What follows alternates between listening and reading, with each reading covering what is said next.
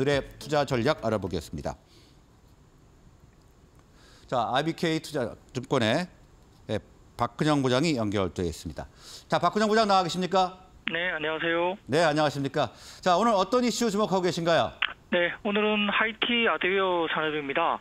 어, 최근에 Palworld라는 게임이 아주 유행입니다. VR gaming 시대가 개화되고 있다는 모습인데요.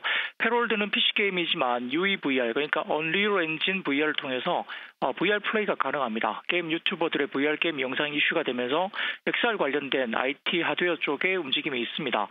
향후 한 6월 정도 예상되고 있는 뭐 삼성전자 신규 XR 기기 출시라든지 현재 Vision Pro의 판매 이런 부분들이 시장의 주목을 받고 있는 상황인데요.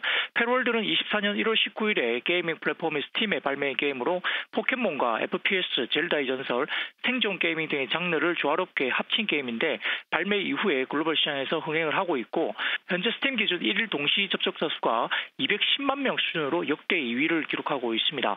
산업 측면에서 UEVR을 통해서 Unreal Engine으로 제작한 flat 2D 게임을 3D VR 게임으로 손쉽게 플레이할 수 있는 점에서 VR 시장의 컨텐츠 주목을 어, 전반적으로 받고 있으며 어, 부족 현상을 크게 개선시킬 수로 보입니다.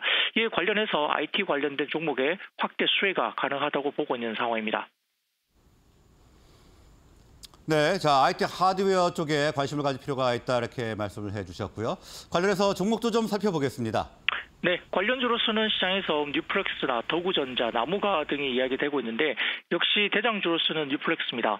어, UEVR이라는 게임은 Epic Games의 Unreal Engine 기반의 PC 콘솔 게임을 무료로 3D XR로 구현하는 프로그램입니다. PC 콘솔 게임 속의 세상을 직접 들어온 것 같은 몰입감을 소비자에게 제공하면서 현재 UEVR을 통해 XR로 제공되지 않던 약 1000에서 1500개의 게임이 3D 어, XR 게임으로 전환 가능한 것으로 파악됩니다. XR 시장은 2020년 10월 퀘스트 2 출시 후에 가격적인 진입 장벽을 낮추어서 단기간 흥행을 성공한 적이 있지만 컨텐츠 부족으로 어, 중장기적인 대중화에 실패했습니다.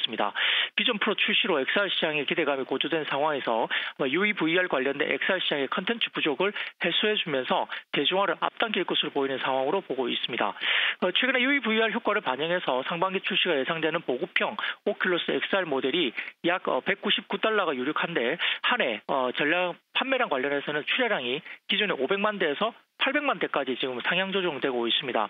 아마 기존에 299달러에 출시됐던 퀘스트 2의 두 개 분기 누적 출하량이 800만 대를 상회한 적도 있었고 보급형 모델이 중국 시장에 첫 판매가 이루어지는 모델이며 대중적인 콘솔형 게임기 연간 판매량이 일반적으로 2천만 대를 상회한다는 점에서는 충분히 달성 가능한 출하량으로 봅니다. 거기다 뉴프렉스 같은 경우는 올해 어, Galaxy S24 Ultra 모델의 판매 비중 상승이 예상된다는 점도 Ultra향 FPCB 공급 비중이 상당히 높은 뉴프렉스 실적에 긍정적으로 볼 수 있습니다. 따라서 XR과 S24 Ultra향 생산 확대를 통한 mix 개선을 반영하면서 올해 영업 추정치가 상당히 상향 조정되고 있는 상황이고요. 최근에 주가 상승이 있었지만 올해 실적 기준 PER이 8배 정도 수준이기 때문에 아직까지 valuation 매력도도 높은 상황으로 판단되고 있습니다. 네, 뉴프렉스 오늘 관심적으로 분석을 해주셨는데요. 어, 비전 프로의 출시로 XR 시장에 대한 기대감이 커지고 있는 점을 포인트로 짚어주셨습니다. 자, 오늘 말씀은 여기까지 듣겠습니다. 고맙습니다. 네, 감사합니다.